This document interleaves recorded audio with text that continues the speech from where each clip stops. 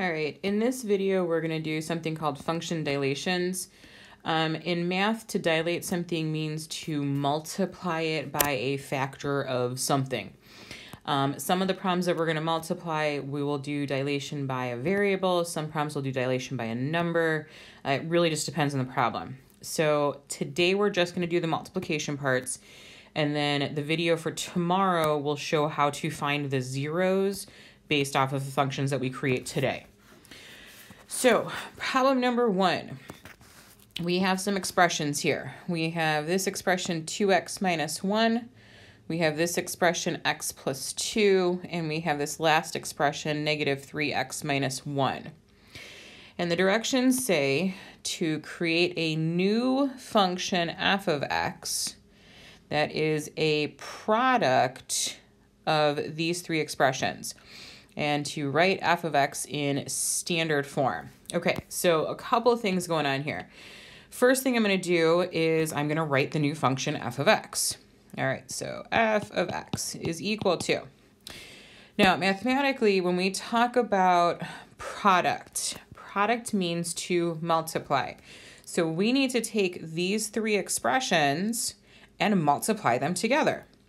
So I'm going to take my first expression, 2x minus 1 times x plus 2 times negative 3x minus 1. Okay, so now this function is fine, except it says to write it in standard form. Now, standard form is not always what we think of when we think of um, like quadratic formula or quadratic equations because um, every equation has some kind of standard form.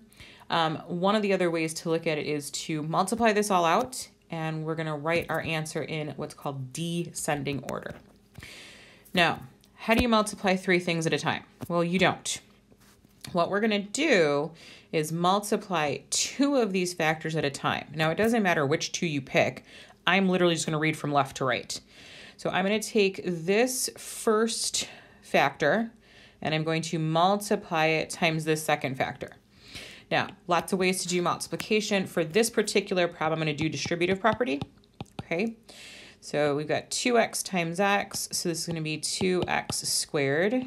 2x times 2 is going to be plus 4x. Negative 1 times x, so minus 1x, and there's going to be a minus 2 there. Now you'll notice I'm still keeping this in parentheses, which I wouldn't normally do, except for the fact that, well, we still need to multiply by this, all right? And so this term is still sitting here that needs to be multiplied by all of this. So I want to make sure I don't lose the multiplication in the problem. All right, in that first set of parentheses, I can combine these two like terms. So I'm going to go ahead and do that. So 2x squared plus 3x minus 2 all times negative 3x minus 1. So we just multiplied the first two pieces together, the first two little um, parts together, and now we need to move on and see if we can multiply this answer that we just got with this last little factor here, this last little expression. So little distributive property, um, and I'm going to take, let's see, f of x here. That's not going to change in this problem, so just leave it as f of x. And I'm to take this first term, so 2x squared times this first term. So negative 6x to the third. I'm going to take that first term again times that second term, so negative 2x squared. Now I'm done with the 2x squared. I'm going to move on to 3x here. I'm going to multiply 3x times negative 3x, so negative 9x squared. And then 3x times negative 1 is going to be negative 3x. And the last thing I need to do here is take this little negative 2 uh, times this negative 3x, so positive 6x, and then this negative 2 times negative 1, so how about a positive 2? And when I wrote that down, you'll notice there's no parentheses anymore because I am actually now done with the multiplication problems. But what I'm not done with is I still want to combine some like terms. All right. So negative 2x squared and negative 9x squared are like, negative 3x and positive 6x are like. So f of x is equal to negative 6x cubed minus 11x squared plus 3x plus 2. That, ladies and gentlemen, is standard form. So standard form means you've got the function notation here equal to, and you literally, what's it's called descending order. So you start with your highest power, in this case, x to the third. The next term has x squared. The next term has x. The last term has your constant. So if you look, you're literally dropping a power each time. So three, two, one, and then none at the end. So that's the first part of problem number one. It's setting up just the f of x, the new function in standard form. So I'm happy with that one. I'm to go ahead and move on to number two here. So number two is just like number one. We have three little expressions. We've got x plus 3, we have 2x minus 1, and we have negative 2x uh, plus 2. And it says to create a new function in this case, we're talking about g of x, that is the product of these expressions. And again, we want to write g of x in standard form. Okay, so g of x is equal to, I'm going to write out all of these expressions. Each one gets its own set of parentheses so that I make sure I'm multiplying the whole thing. And then for this problem, I'm going to do a little bit of, excuse me, uh, multiplication using multiplication boxes. You don't have to, it's really up to you. So I'm going to take the first little binomial here, x plus 3 times 2x minus 1. So off to the side, I'm going to set up a little multiplication box. And I'm going to put x plus 3 across the top. So that splits right between those two terms. And then I've got 2x minus 1, which will split between those two terms.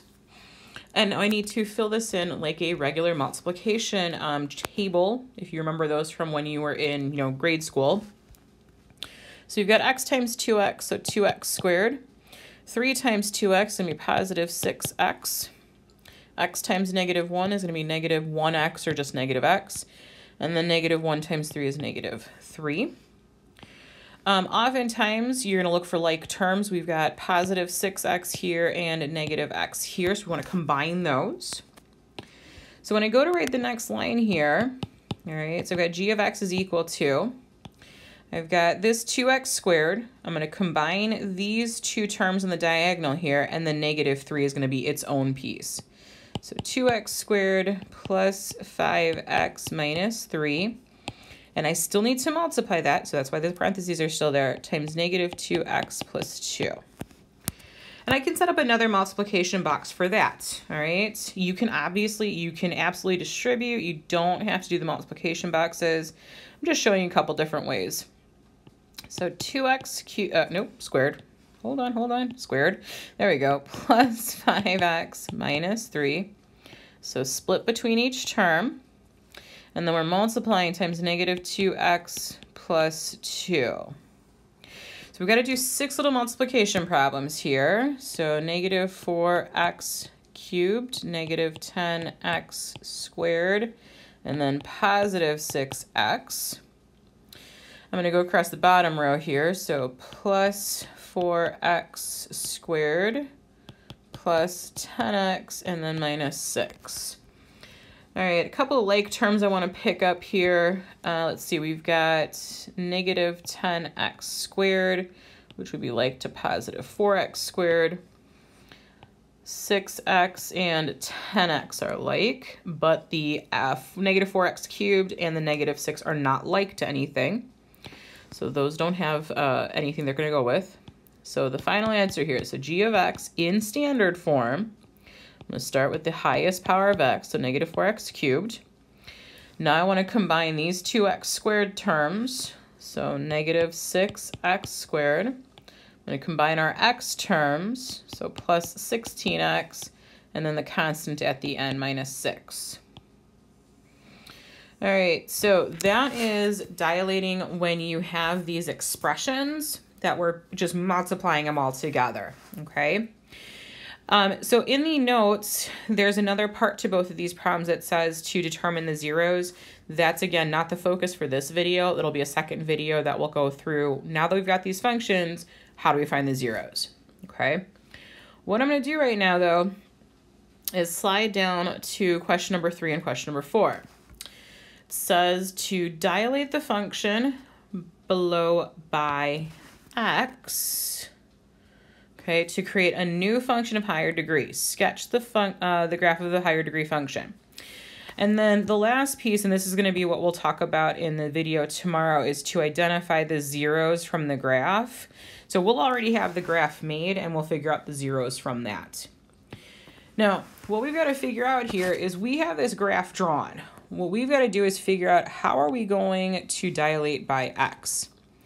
So one of the ways to do this, in, and to me it's the easiest one when you have the picture, is you are just going to draw the line y equals x. Okay, so y equals x in slope-intercept form has an intercept of 0. Okay, so we're going to go through the y-axis at 0. And then it has a slope um, that's 1 over 1. I'm actually going to try and match color here so it's just you can see the two blue graphs. All right, so up 1 over 1, and we can keep doing this all the way till the upper corner of this graph here. I'm to reverse and then fill in the lower left here. So that right there is the line y equals x. So what we're to be doing is actually multiplying this together to figure out some kind of new function. So the first thing you're going to do, all right, and I'll put little steps over to the side here. So number one is to find the x-intercepts. Okay intercepts. Helps if I can remember how to spell that word. Okay, intercepts. And I want you to put really dark dots on them. Okay, so right down here, we only have one x-intercept. It's right there. Okay. Now, what you want to do is analyze the function. Give me a second here. And analyze. I had that right. the function. Um, for positive and negative, okay? Now it sounds kind of weird, but what I want you to look at, and I'm going to kind of use a little dotted line here where this x-intercept is. I'm going to put a little green dotted line in here. If I look to the left of this dotted line, so I'm looking to the left here, what I want to look at is, is our function positive or negative? So the blue curve that was originally there, okay, that has negative y values, all right? The line that we drew in also has negative y values. So if we are multiplying a negative times a negative, that means our function that we're going to need to draw needs to have positive, and let me actually use a pen over here, needs to have positive values here, okay? Now, if I look at the right side of this graph, I want to analyze the positive and negative. So the blue curve, negative. It has negative y values here. Think about the ordered pairs. But the line that we drew in for to represent x has positive values. So if we take a negative times a positive, we would end up with negative values. Okay? So what has to happen here is our function that we're going to draw has to have positive values on the left, negative values on the right, and it has to go through this point right here. So what might that look like? And this is just a sketch, right? We don't have to be perfect about our values but it might look something like that. Okay. Now, what you've just done is you have actually just drawn what's called a cubic function. A cubic function is a third degree function. Okay, so when you have problems that say f of x is equal to x to the third, that's the kind of function that we're talking about. All right, let's go on to number four, see if we can do the same thing. Okay. All right, so this time we just have a line drawn. Okay, dilate the function given below by x. So we're going to do the same thing. We're going to start with y equals x and graph that in. To create a new function of higher degree, sketch the graph. Again, it says to identify the zeros. We will do that part tomorrow all right, or in the next video, depending on if what time you're watching this. Um, all right, so I'm going to make a nice bright pink or bright orange graph here uh, to graph y equals x. So I'm going to start at the origin and I'm going to graph up and to the right, up one, right one, up one, right one, keep going, and I'm going to literally go all the way up to the corner. I'm going to do the same thing going lower left. So down one, left one, down one, left one. Okay. All right, so our steps are still the same. We want to identify the x-intercepts. I'm going to change colors here. I want to see if I can get something. Uh, I'll go with this bright purple, I guess. Um, we want to identify the x-intercepts. So we have an x-intercept here, and then the one we drew in is right there. So I'm really trying to uh, make those really obvious, okay? Now I'm going to use the highlighter again, and I am going to draw in some vertical lines where those x-intercepts are. Okay, so x-intercept here and x-intercept here. And this is where we need to figure out, are we positive, negative, like what's going on with the graph, okay? So right here, if we look far left, okay, farthest to the left past this last uh, x-intercept, the blue line has negative y values, or yeah, negative y values, and the orange line has negative y values. So negative times a negative is a positive. So our curve needs to be positive in this section. Okay, positive meaning above the x-axis. Now if I look right between these two x-intercepts, the blue line's positive, it's above the x-axis, but the orange line's negative. So positive times a negative is a negative, okay? Barely able to fit that in there. All right, a negative value, which means that our curve is going to be below the x-axis. Okay, that's where the negative function values are. All right, if we look far right, we've got the blue curve is nice and positive up here. It's above the x-axis. Orange curve is also positive. It's above the x-axis. So a positive times a positive is a positive. Okay, so I need to be positive up here, positive over here, and negative down here. And I need to go through these two x-intercepts. So that might look something like that. And for those of you playing along at home, we've just created a quadratic. It is a second degree polynomial. All right. So we just took two lines and multiplied them together and we created a quadratic, which is kind of interesting. So a first degree function times a first degree function creates a second degree function. All right, so the last bit we're going to get into really quickly is 5 and 6, at least the first part of it, part A, okay? So directions here, consider this function, right? I'm giving you a function f of x and you want to dilate f of x by x to create a new function called h of x. All right, so we want to be careful. So the first thing we're going to do is we're going to write h of x. And to figure out h of x, I need to take f of x and multiply it times x. So x times x minus 1 times, whoops, that is a horrible looking 2. Let's go 2x minus 3. Now, there is absolutely nothing in part A that says that we have to write this in standard form, so don't. it's extra time that you don't need to do, um, and it's not required. So let it be in factored form. All right, h of x is equal to x times x minus 1 times 2x minus 3. We'll do part b later on, not to worry about that for right now.